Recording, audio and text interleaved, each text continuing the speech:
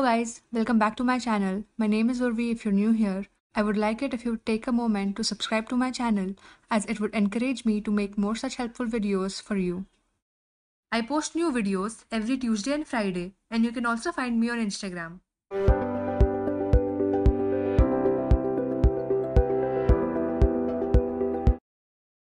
My first advice on using tables in PowerPoint is to try not to use them, especially for numeric data. If you are not careful, a table will become a big striped wall that will make your presentation cold. But I do realize that there are times you have to use tables for some reason or the other. A part of the reason we largely ignore tables as a visualization type is because most of us are not sure when we should be using them.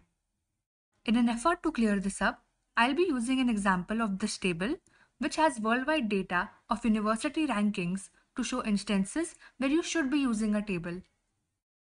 When you want to show individual, precise values, ranking of any sort are a great example of this.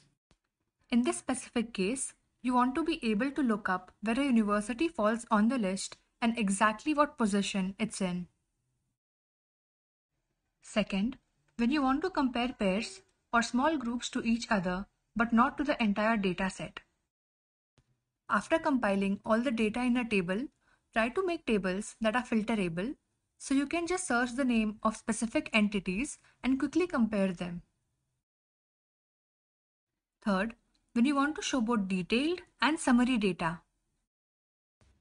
For someone reading this table, to get information about a university, the fact that both summary level data, that is the rank, and more detailed data, that is the number of students, student to staff ratio, share of international students, and gender split are displayed is really useful. When there are multiple units of measure, and while most chart types are only capable of showing one type of data or another, tables, as this example illustrates, can show both. And lastly, when your data has a lot of categories. Imagine that you had this university data set and wanted to visualize just the names of the universities and all of the three rankings. It not only looks messy, but also makes it hard for someone to precisely understand the positions. This is the default table template that PowerPoint offers, and this is a default template in Keynote. Here is an actual table designed by somebody. And let us first change the typography to improve its readability. And then let's delete everything that's decoration and leave the text intact. Secondly, let's look at the text and see if there are any repeating words.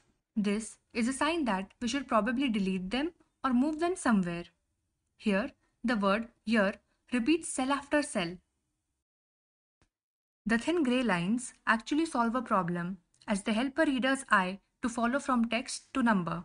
And the final step is to align center or even to the bottom and brighten the header to make a dramatic difference.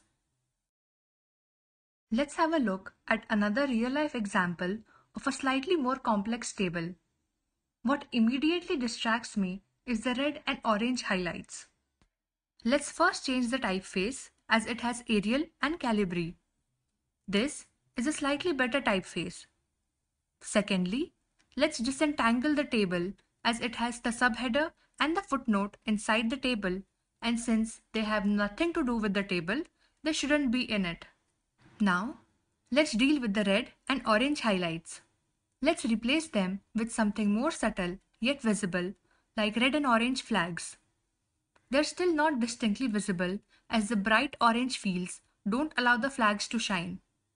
So let's just replace those grids with a subtle grey line. And I think with a few final touches, this is much better.